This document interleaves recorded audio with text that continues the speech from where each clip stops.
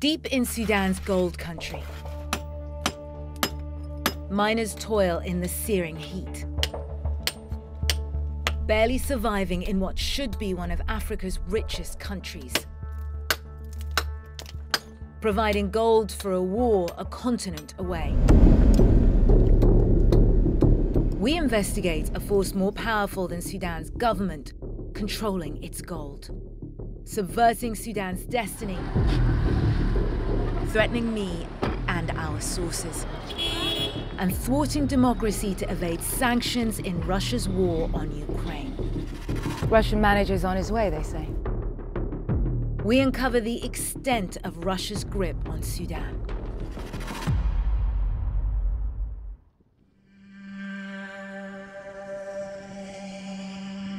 For millennia, Sudan has produced some of the most sought after gold in the world. And Putin's private army, the notorious paramilitary group Wagner, knows it. Sudan's government is denying Wagner's existence in country, but we're not buying it. And we've come to investigate. Wagner's tentacles stretch right across Africa. We've discovered some of its most notorious operatives are working on Sudan. Yevgeny Prigozhin, the head of Wagner, Mikhail Potepkin, Prigozhin's head of Sudan Ops, and Alexander Sergeyevich Kuznetsov, Wagner's key enforcer, previously convicted of kidnap and robbery, working with this man, Sudanese General Mohammed Hamdan Dagalo, aka Hemeti, in a quid pro quo for training and weaponry. We travel 200 miles north from the capital Khartoum to Gold Country to take a closer look at Wagner's main moneymaker, artisanal gold. Miners bring rocks they extract here to be processed. 85% of Sudan's gold is produced artisanally. This right here, it may not look like much. This is what's left after the, the rocks that the miners have brought in is milled. Now, they've taken what they can out of it, but this gets sold. And when it's properly processed with someone who has superior technology, you can make 10 times what those miners over there are making. 10 times more money without any of the backbreaking work and the only foreign processing plant operational in Sudan is Wagner's Merowe Gold, despite a Sudanese law limiting ownership to locals. Also troubling, Merowe Gold was sanctioned two years ago by the United States for exploiting Sudan's natural resources and spreading their malign influence around the globe. According to the Sudanese government, they officially ceased operations, but they are still here still evading sanctions. We verified their location with coordinates provided by Sudanese anti corruption investigators and head there to see for ourselves.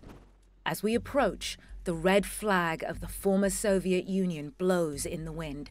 Increasingly used by Russian nationalists, it brazenly marks the Merowe Gold compound. A Russian tanker sits next to it. We get to the entrance and decide to ask a few questions, but not before we turn on our covert cameras. Well, that's convenient. They've just confirmed the Russians are at this location. نحن صحفيين مع قناة سي ان ان عاوزين لو عاوزين المدير الروسي عاوزين بس نستفسر معاه في حاجة. There's a black pickup approaching. Okay, tamam. Guards just confirmed that the Russian manager's in that black pickup and is on his way to us. A Russian van races to the office, but no one seems to be coming over. Seems the Russian manager has changed his mind. But others turn up instead.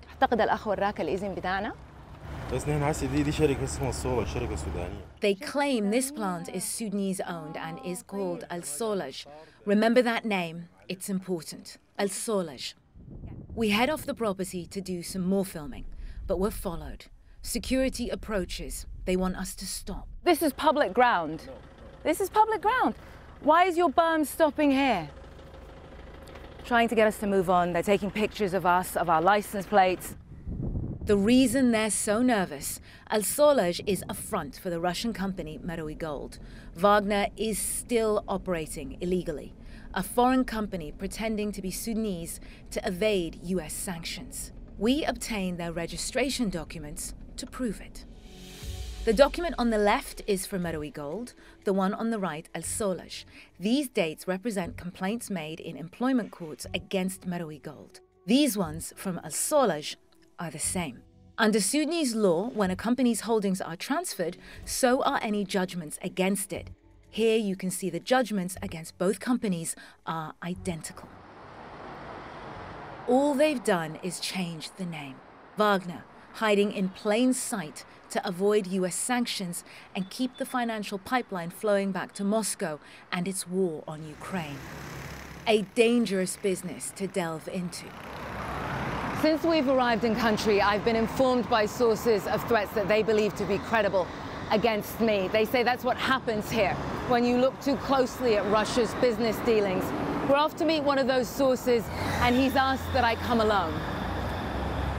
Merowe Gold is a front for the Russians, specifically for the forces of Wagner that are working to exploit gold in Sudan and its export. It's a front, it's not a company. It extracts gold from tailings and it buys gold from the Sudanese artisanal miners. That's not legal because the law says that any gold producer is supposed to report the quantity it produces to the central bank and to the Ministry of Mining, and that does not happen. Inside Sudan's central bank, a whistleblower snapped this photo of a computer screen, showing official production in 2021 at 49.7 tons. 32.7 tons are unaccounted for by the central bank. But the real figure, we're told by whistleblowers, could be over 220 tons. That's around $13.4 billion worth of gold a year that's being stolen from Sudan. How has this happened? Two years ago, the Sudanese people successfully overthrew Africa's second longest ruling dictator, Omar al Bashir. 18 months later, the military staged its own coup, sweeping aside civilian rule. And they did this, we're told, with Wagner's support in exchange for gold. This man had a front row seat to Russia's machinations and has evidence to prove it stood to gain by supporting the Sudanese military's coup. Under threat of assassination, he's been in hiding for the last nine months, moving from safe house to safe house. The Russians and Sudanese officers saw the civilians in the government as an obstacle to their plan the official anti corruption task force wasn't caving to pressure or threats or even bribery.